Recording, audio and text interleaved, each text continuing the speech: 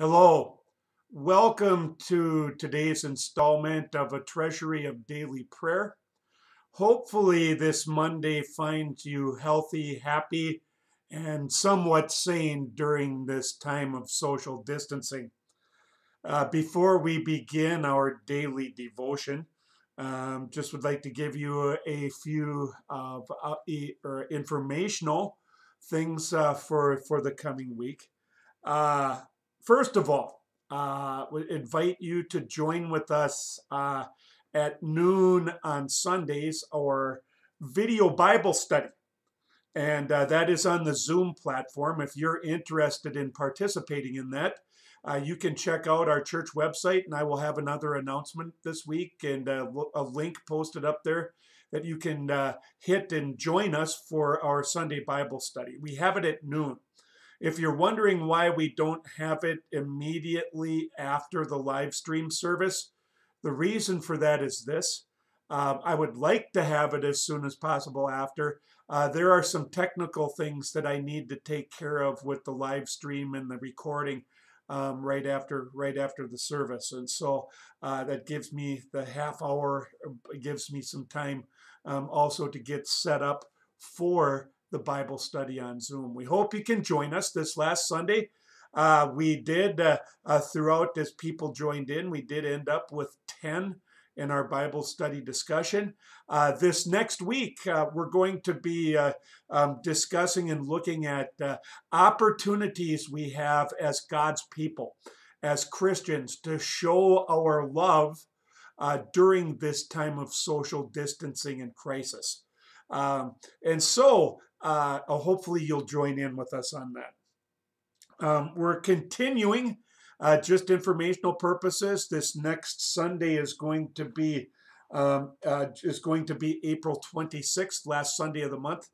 Uh, we are planning on going with the status quo through April. Um, our church leadership, we plan on meeting um, before the month is over to determine a course of action or help try to plot a course of action uh, for the month of May.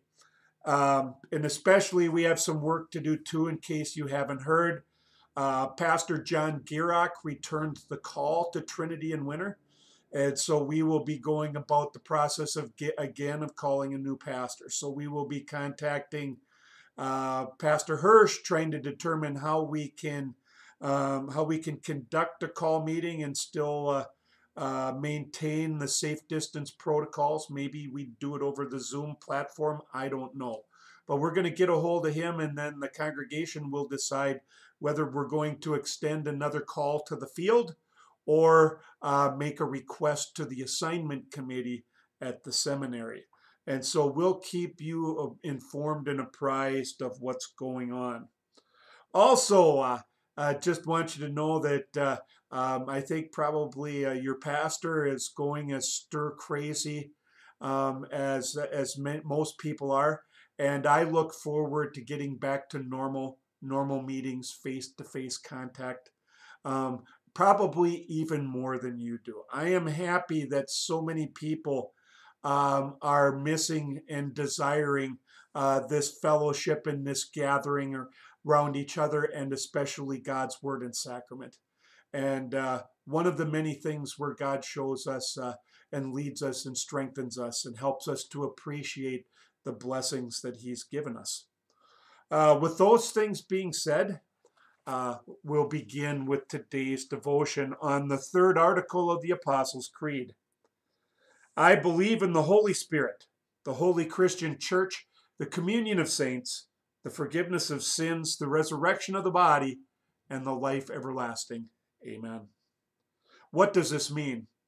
I believe that I cannot, by my own thinking or choosing, believe in Jesus Christ my Lord or come to him. But the Holy Spirit has called me by the gospel, enlightened me with his gifts, sanctified and kept me in the true faith. In the same way, he calls, gathers, enlightens, and sanctifies the whole Christian church on earth and keeps it with Jesus Christ in the one true faith. In this Christian church, he daily and fully forgives all sins to me and all believers. On the last day, he will raise me and all the dead and give eternal life to me and all believers in Christ. This is most certainly true. The holy who? asked the man in my instruction class. Spirits were something out of science fiction, and ghosts were material for TV cartoons. To talk to him about a spirit, and a holy one at that, would take some doing. But he learned and appreciated it as the Holy Spirit worked in his heart through the Word. Later, he became not only a member of the congregation, but of the church council as well as we enter the third article of the Apostles' Creed and examine Luther's masterful explanation of that article, let's look at the Holy Spirit in whom we say we believe. Don't be fooled. The word spirit does not imply that he is not real. He's not some face, faceless force flitting around out there, some impersonal energy that emerges and evaporates now and then. Though we cannot see him with the eye, we can feel him with the heart. That's one reason why his name comes from the Greek word pneuma, meaning air. We who use pneumatic tires and pneumatic drills understand that. Though we cannot see the air that fills the tire and drills drives the drill, it is very real. The Holy Spirit is a He, the third person in the triune God, true God with the Father and the Son, of equal power and majesty with them. As a real person, he teaches the word of truth, glorifies the Savior who stands at the center of truth, and convicts sinners so that they realize their need for saving truth. As a real person, he cannot be lied to. As Ananias and his wife Sapphira, the first hypocrites in the New Testament church, discovered to their dismay. As a real person, he can be grieved by sinful responses to his work, as Paul warned the Ephesians not to do. To those who don't know God, he remains forever a mystery.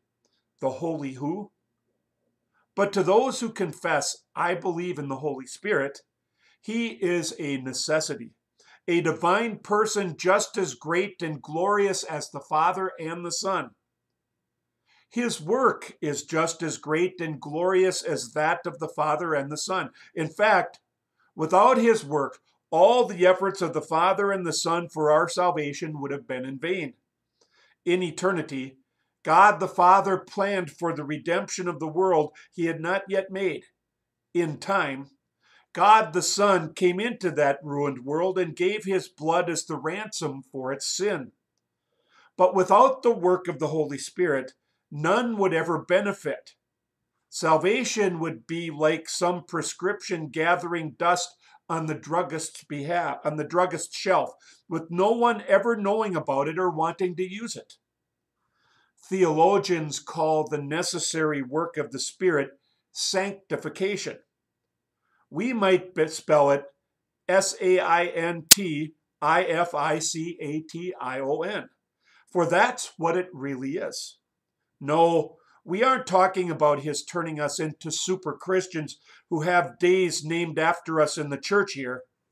We're talking about real saints, people whom the Holy Spirit has made holy by bringing them to the fountain filled with Jesus' blood and plunging them beneath that flood.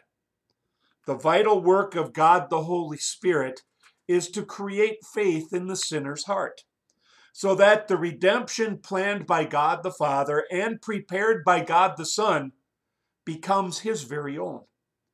Without the Spirit's work, no one could stand as sanctified before God or seek to serve him in his kingdom. Do we sense the divine love behind our sainthood? God didn't merely create salvation by putting it into the world and then leaving it to the blind working of fate for us to find it. He didn't drop it down from heaven and then hope for our bumbling efforts to unearth it. He knew there was only one way. In saving love, he takes the final step toward us and sends his Holy Spirit to sanctify us. Our confession, I believe in the Holy Spirit, is tribute to divine love and grace. Let us pray.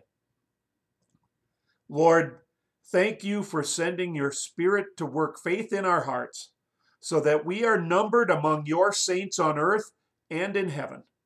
Amen. God bless you. Have a wonderful day, and we'll see you tomorrow.